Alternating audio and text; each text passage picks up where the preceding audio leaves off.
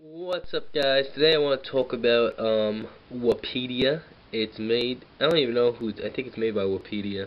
To be honest, I'm not sure who it's made by, but it's a free app. You can get it in the Android marketplace and what Wapedia is, it's the quickest way to get to Wikipedia and all other sorts of Wikipedia things like certain like uh different kinds of movies. They have Wikipedias or like games. If you can see right here, it's like Muppet Wiki. like so, if you want to know some things about Muppets or Harry Potter Wiki, like stuff like that. But there's a whole bunch of different types. I'm not sure how much there are exactly, but there are definitely a lot. Um, so if you like that, like there's games right here. So GTA Wiki or like Fallout Wiki. There's you know there's a whole bunch of stuff. Um, this is a really useful app, or at least to me. Uh, if you're looking up something, or if you have an argument about it with a friend about something, just look it up on Wikipedia, and usually it resolves the argument. Um, this is a pretty nice app. I like how it looks. There's, I really got no complaints with that.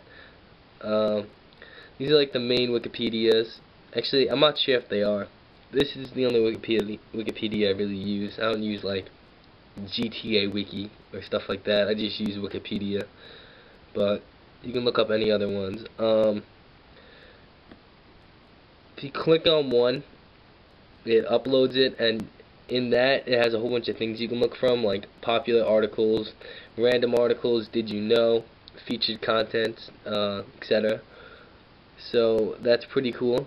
Um, down here you can share links and stuff to your friends, um, change the languages and wikis, refresh again preferences or quit out of it, and I think that yeah it's just a backup. Uh, that's for bookmarks. I honestly didn't know that. I just clicked on it to see what it was, but uh, we'll just search for something.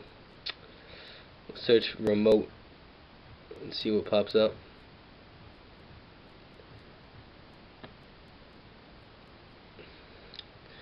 And it just shows you a whole bunch of things. If you look up remote control, you can get the info on that or the wiki page of it. So that's pretty cool. It tells you the history and everything about it, just like how Wikipedia would. But uh, I like this app a lot. I think it's a must-have app, or at least, yeah, to me it's a must-have app because on your phone, the must-have apps to me is phone, text message, YouTube, um, a flashlight app, and like weather. And this is definitely right off there just with a good utility app and a nice tool to have on hand at all times in your pocket. Um, really got nothing else to say other than that. And uh, peace out guys. Definitely a good app to have and it's free so there's no point of not downloading it. Peace